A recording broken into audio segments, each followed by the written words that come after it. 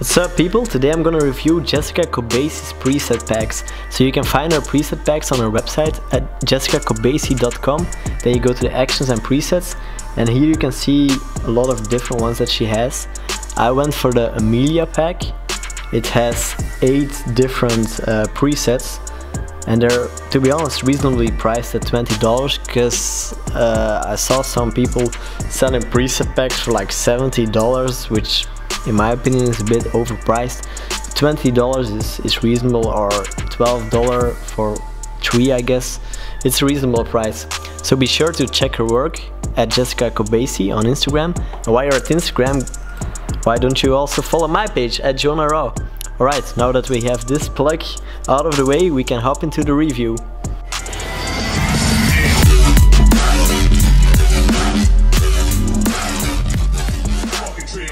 So we're in Lightroom and we're gonna try out this preset pack on this picture I took today. I really like this picture because of the two mirrors here, uh, reflecting girl and this light here. I took it in a fitting room and I also like the, the angle. I was in another fitting room standing on some things, looking over the, the divider between the two fitting rooms.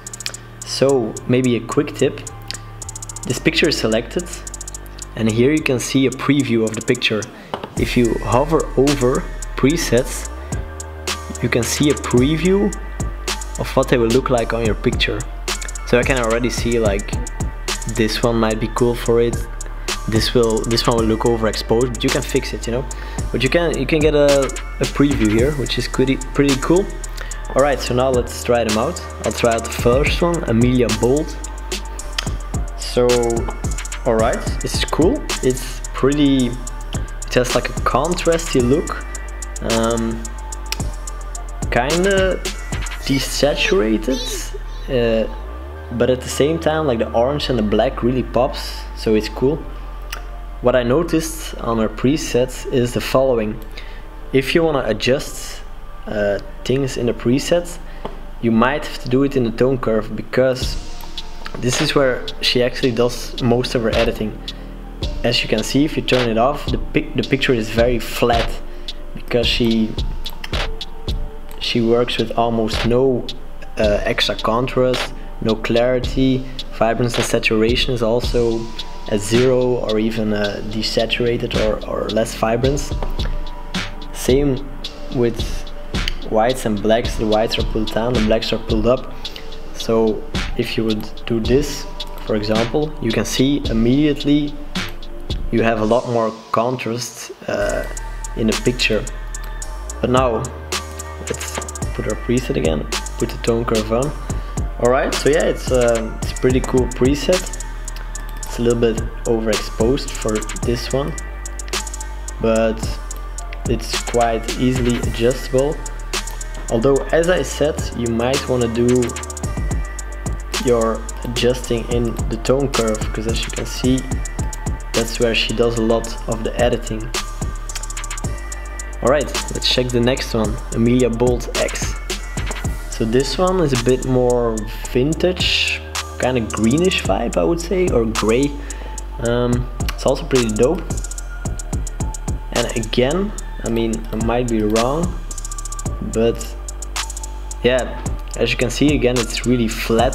Uh, here she even here she even has the contrast down uh, with 44 so it's really flat image and the editing is like bam the tone curve makes all the editing here.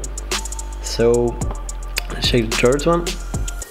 This one is a more pinkish pinkish purplish uh, yeah also a vintage vibe I would say uh, and a really really more faded as you can see here in the tone curve like it's pulled up all the way. If you pull it down like a little bit the the fade goes away immediately.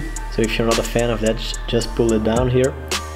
If you're a fan you can like do it even more or whatever you like. All right so yeah that was this one. Now amelia 2 okay this one is for this picture overexposed so i'm gonna put the exposure down a bit maybe even a bit more and the highlights alright it's also a bit more a faded one as you can see here I kind of like it. Uh, although I have to say, lately I've been kind of going for the more neutral look, not for like the really faded one anymore. Because I mean, you know, sometimes you have these trends in photography, and the faded look was like a very big trend. But I think we're kind of over it, and as for myself as well, I'm kind of maybe bored of seeing this look. But it's very easy adjustable. As you can see, just pull the tone curve down here on it's uh, the area here, the left area, which are the shadows. So you pull it down and the fade goes away. Again, probably, yeah, the contrast is almost nothing, vibrance is down a bit, so editing is done in the tone curve. Now let's check Amelia Quaint. Alright, I'm kind of digging this one. This is a bit more of a moody, darker one, which is a bit my style. Um, again, yeah, probably, again it's the tone curve really making the picture. So keep that in mind if you want to adjust things that it might not be enough to change some settings here but you might want to look into the tone curve because it's like adjusted on each channel. Um, yeah digging this one. So Amelia X. Now this one is a bit more light uh, wouldn't say orangey but a bit more to the orangey side. Uh, it's a cool one also. So again, a bit overexposed for this one. But as I said in my other tutorial, it's very easy to make a preset work for your picture and most of it can be done here. So yeah, cool cool. And now we're here at the last one, Amelia XO, which is I would say maybe the most neutral edit um, which I'm really digging. It has like this soft vibe to it, although it's it's contrasty. Um, again, tone curve doing all the work here. Yeah, as I would say, it's a very dope uh, preset pack.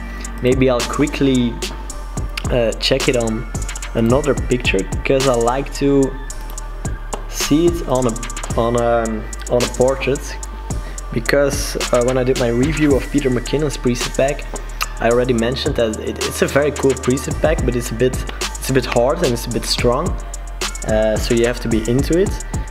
And I wouldn't also maybe recommend it if you're really shooting portraits, because since it's such a strong edit, it kind of messes more with the skin tones.